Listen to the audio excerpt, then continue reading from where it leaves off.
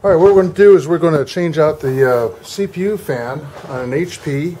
Uh, this is a uh, HP, where's the model number? Uh, DC5750M. So I'm going to show you again how to take the uh, cover off. We're going to remove some parts out of here. I'm going to show you how to change out some things. So uh, grab the grab the screw here if you need a flathead or a star tool to loosen it, but um, already had this off a number of times.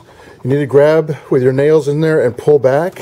If that doesn't work, then lay it on the side and pound on it to, in the backward motion and take the cover off. Because I see the two clips right here. So let me make sure I have everything in this video. There we go.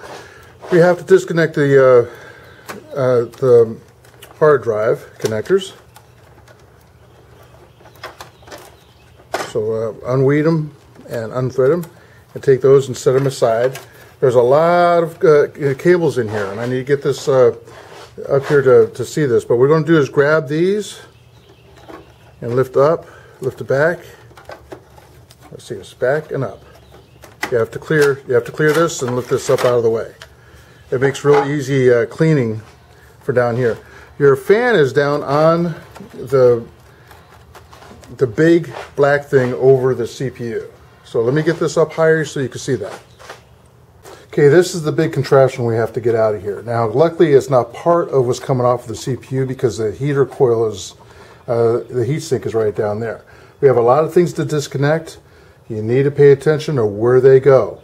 So if you need to, take your cell phone, take a camera, take something, and take pictures of where everything goes. I'm going to take the, the cable to the bottom CD drive, or the floppy drive actually, off of the motherboard. Luckily, there's only one of these on the motherboard. Just take that and move it back over there, all right, because it was crossing this. And you need to make sure that it sits back over. We want to make sure all these, uh, all these connectors go right back in the same sequence. So I'm going to move this over. This is your uh, SATA cable for the hard drive and the CD-ROM drive. Take that out of the way. Both of these both these connectors go that way. All these clips come out that way. So we have um, your upfront display needs to be disconnected from the motherboard because there's just not enough room. So we're going to take that off the motherboard. All right, and there's only one place to put that too. It's right next to where this guy went in, uh, the floppy drive connector. Just to the top of that is a white connector that has this blue, yellow, black, green wire going down. There is a channel that's on the far side on that that's going to slide down. We're going to pull this out. There's no clip to hold, but there's that channel right there that's going to slide down. Only one place to put that, and it's the same color. All right, we're not pulling this out. This is part of the fan. It's the, so we got we have this out. We're going to see if we can do all this without actually disconnecting, but I don't think that's going to happen. I want to make sure we have everything that I'm doing somewhat in here. Yeah, we, are good. We're good on that. I was looking in the camera. This cable right here, these two that run down, go to a yellow connector on the motherboard. We're going to pull that up. There's nothing to hold. You just wiggle back and forth and pull it up. Yellow goes to yellow. And it's not the SATA yellow that's down there. Uh, these guys look like they'll be out of the way. So let's take this one out first. This is the one tangled up with the uh, red and black. So it's going to go in after the SATA. We're going to take these two that I disconnected from the motherboard is going to come out. This is the upfront panel that's going to come out. We're going to take all those out. So what we need to do is take a uh, um, star type uh, tip. They also take flatheads, so if you don't have one of these, this is a size uh, T15 uh, is the type of tip I'm using. Uh, make sure that we are on an unscrew area. So there's four screws to take out that are on the corners down there. I don't think they're going to come all the way out, and they actually screw into the motherboard.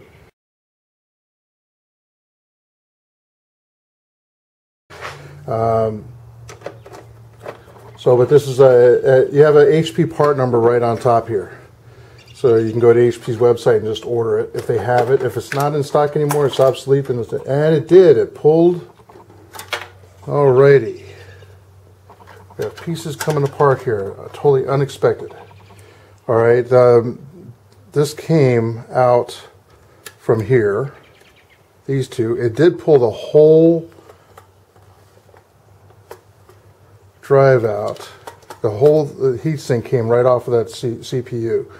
All right, don't mess with this stuff. I like putting it on. Uh, this is uh, this is stuff for the heat, uh, the coolant transfer. It transfers heat a lot faster and a lot better, more efficient, so you don't have a CPU burnout. But don't clean this off. Don't clean that off. All right. Uh, put it right back on the same way. I prefer cleaning it off and put new on there, but uh, this stuff's hard to come by. All right. So you need to get this out of here. And if you pull this aside, see, there's only one way. You couldn't do this. Um, without taking this thing off. So you need to get this thing out of here and pull pull it aside to get this out. So it's a it's actually um, uh, I call it liquid cooled. It's got the plumbing that goes all the way around. There's a little bit of dust I didn't get before, and I did scrape myself, so be careful. A uh, little sting, but you know, no big thing. You don't want any of these on the sides to be flat. This is flattened from the top of, of this going down. So this is your fan, fan assembly. Now, typically, you know, if you could find a fan like this, uh, you could take the four screws out, little screwdriver that goes through Phillips head, and take these out. But this is the full assembly that would come from HP. All right, so now we're going to put this back in. Um, I didn't expect those screws to come out though. so we're going to uh, try and remember which side this came off because of of where that big bulky pot uh, uh compound is. And that looks like it goes on like this because the large area is missing down there. So go ahead and pop this back in when you have that figured out. You know, this looks like uh, the bottom of this thing broke. Is why it came out. So this has been apart before. I didn't break that. I just unscrewed it. So that yeah, these two posts are broke. So hopefully yours is not like that. And uh, the new one you get is not going to be like that, which means I'm not going to be able to sell this on eBay. Unless I find a way to fix those. But that's uh, that's not cool. That means I can't make a little bit of money off of this. Oh well, uh, things happen. So I need to figure out how to uh, get this to stay in. I might have to glue these back on before I... So if this happens to you, you have to glue these back on before you put this... I fixed it, but uh, there are definitely missing pieces and parts. This has happened well before I touched it. So um, I use good old uh, little dabs of super glue. Make sure you don't get it, the super glue on the th uh, threads if this happens to you. All right, we're gonna set this back down in here, providing those posts don't come off while I'm moving, maneuvering this through. Uh, need to get the cables up and out of the way. You don't want to go on top of any cables.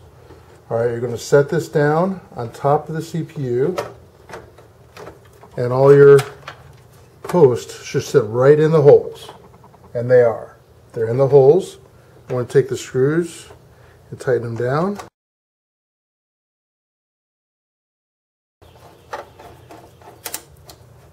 Yeah, I just heard it crack again as I'm doing this. I just heard heard that one come. Let's see, see if this works.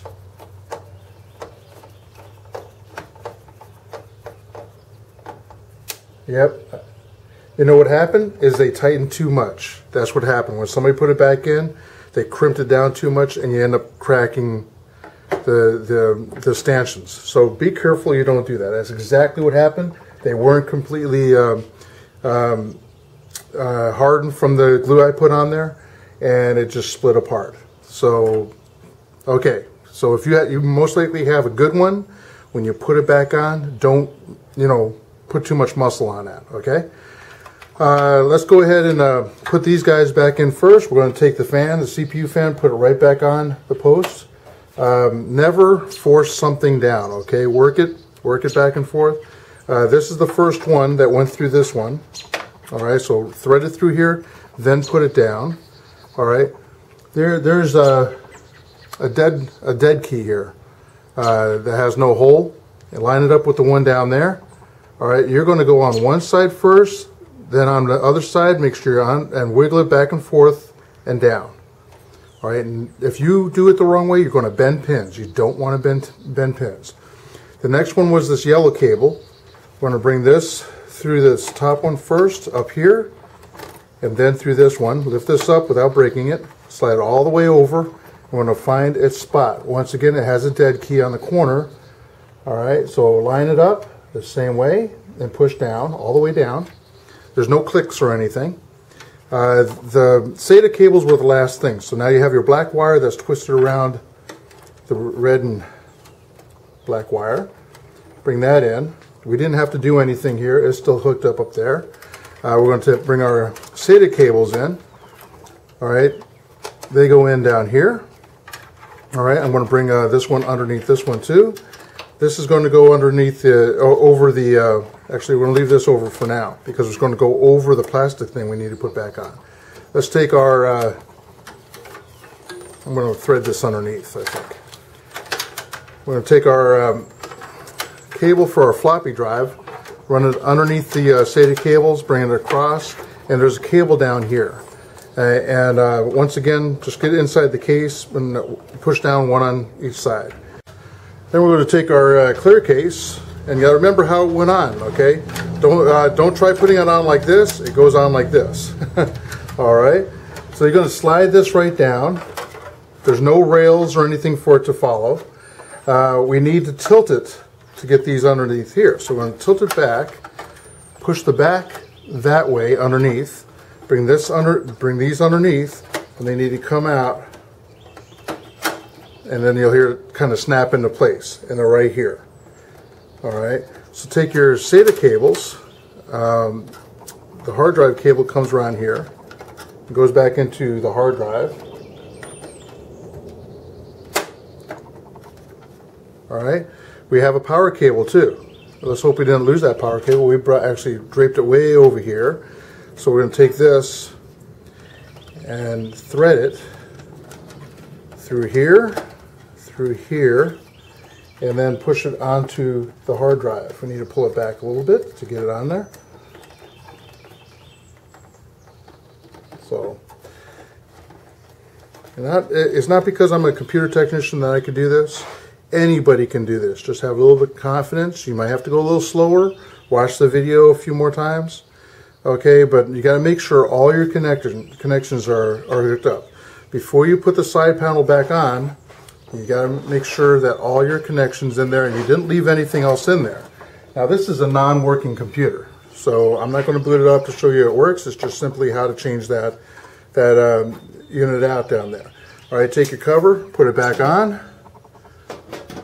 All right, with this guy, you have a big fat piece that needs to go over this big fat piece, so it has to be on the front of it. All right, uh, set it down into the channels, and it is kind of difficult to do, okay? So, so uh, they can't make these things kind of easy. All right. And then uh, push it forward and then tighten your nut down and you're all set. All right. So hopefully you enjoyed the uh, video. Subscribe if you wish.